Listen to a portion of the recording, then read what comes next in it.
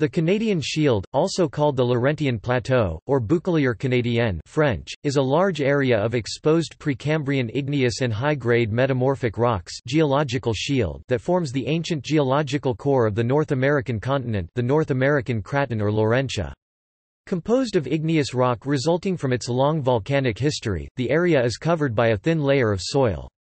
With a deep, common, joined bedrock region in eastern and central Canada, it stretches north from the Great Lakes to the Arctic Ocean, covering over half of Canada. It also extends south into the northern reaches of the United States.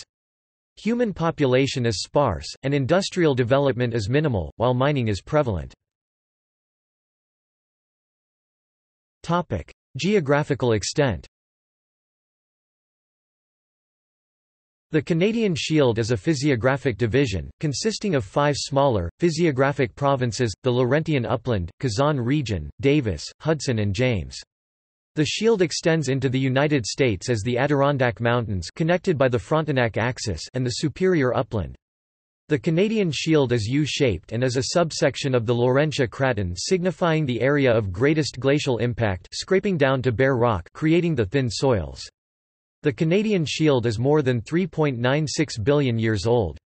The Canadian Shield once had jagged peaks, higher than any of today's mountains, but millions of years of erosion have changed these mountains to rolling hills. The Canadian Shield is a collage of Archean plates and accreted juvenile arc terranes and sedimentary basins of the Proterozoic eon that were progressively amalgamated during the interval 2.45 to 1.24 Ga, with the most substantial growth period occurring during the Trans-Hudson orogeny, between ca. 1.90 to 1.80 Ga. The Canadian Shield was the first part of North America to be permanently elevated above sea level and has remained almost wholly untouched by successive encroachments of the sea upon the continent. It is the Earth's greatest area of exposed Archean rock. The metamorphic base rocks are mostly from the Precambrian supereon between 4.5 billion and 540 million years ago, and have been repeatedly uplifted and eroded. Today it consists largely of an area of low relief 300 to 610 meters (980 to 2000 feet) above sea level with a few monadnocks and low mountain ranges including the Torngat and Laurentian mountains probably eroded from the plateau during the Cenozoic era.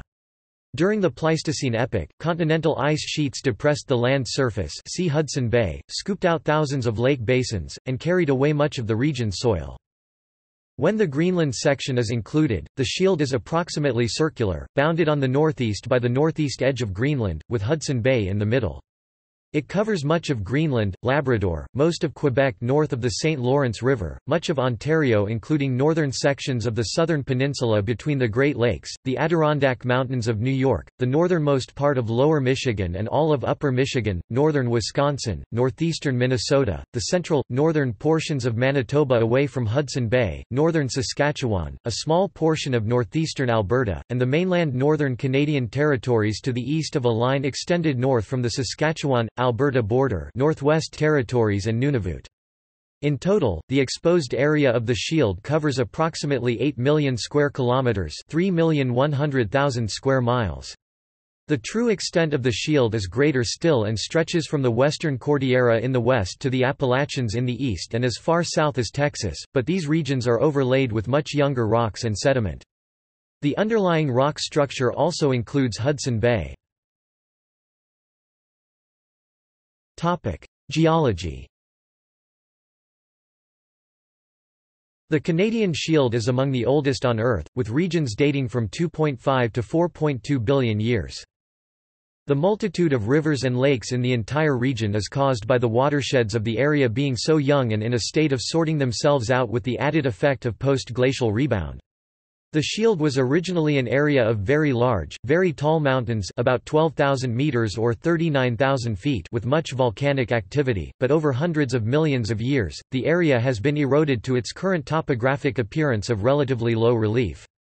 It has some of the oldest extinct volcanoes on the planet. It has over 150 volcanic belts now deformed and eroded down to nearly flat plains whose bedrock ranges from 600 to 1,200 million years old. Each belt probably grew by the coalescence of accumulations erupted from numerous vents, making the tally of volcanoes reach the hundreds. Many of Canada's major ore deposits are associated with Precambrian volcanoes. The Sturgeon Lake caldera in Kenora District, Ontario, is one of the world's best preserved mineralized Neoarchean caldera complexes, which is 2.7 billion years old. The Canadian Shield also contains the Mackenzie Dyke Swarm, which is the largest dike swarm known on Earth.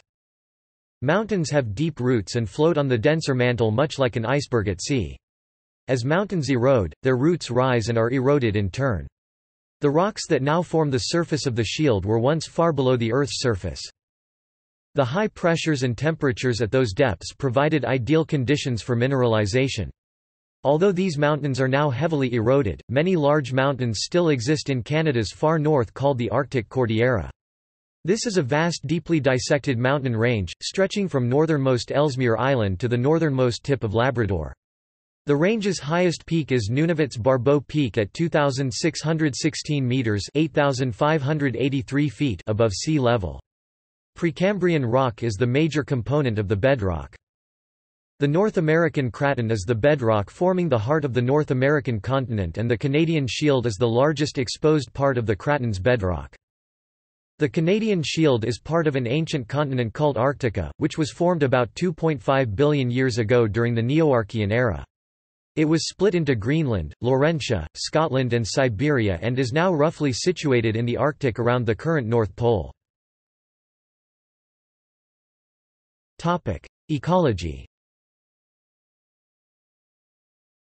The current surface expression of the shield is one of very thin soil lying on top of the bedrock, with many bare outcrops.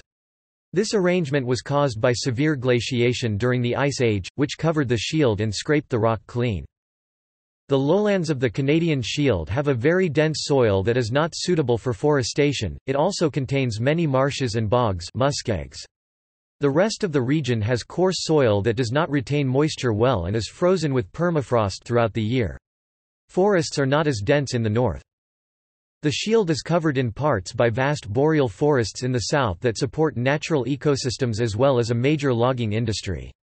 This boreal forest area includes ecoregions such as the eastern Canadian Shield taiga that covers northern Quebec and most of Labrador, and the midwestern Canadian Shield forests that run westwards from northwestern Ontario. Hydrographical drainage is generally poor, the soil compacting effects of glaciation being one of the many causes. Tundra typically prevails in the northern regions.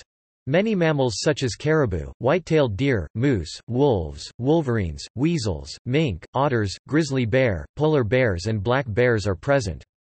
In the case of polar bears Ursus maritimus, the shield area contains many of the denning locations such as the Wapusk National Park.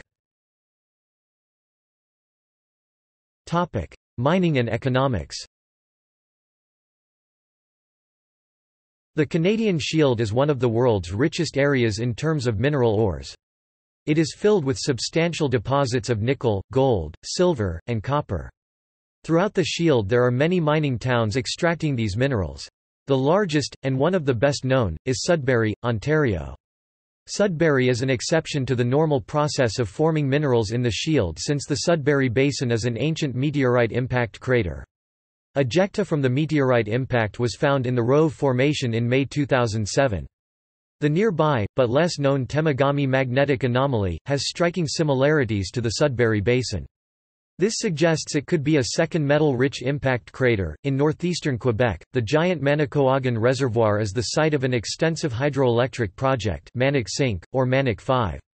This is one of the largest known meteorite impact craters on Earth. The Flin Flon Greenstone Belt in central Manitoba and east-central Saskatchewan is one of the largest Paleoproterozoic volcanic hosted massive sulfide VMS districts in the world, containing 27 copper-zinc gold deposits from which more than 183 million tons of sulfide have been mined. The Shield, particularly the portion in the Northwest Territories, has recently been the site of several major diamond discoveries. The kimberlite pipes in which the diamonds are found are closely associated with cratons, which provide the deep lithospheric mantle required to stabilize diamond as a mineral. The kimberlite eruptions then bring the diamonds from over 150 kilometers (93 miles) depth to the surface. Currently the Ekati and Diavik mines are actively mining kimberlite diamonds. See also Athabasca Basin Platform Oldest rock Basement Platform basement Volcanology of Canada Glacial history of Minnesota Topic. References Topic. Further reading Schwarzenberger, Tina 2005, The Canadian Shield, Weigl Educational ISBN 1-55388-141-9 Pazanich V.G. Formation of placer gold deposits in Canadian Shield during late Wisconsin glaciation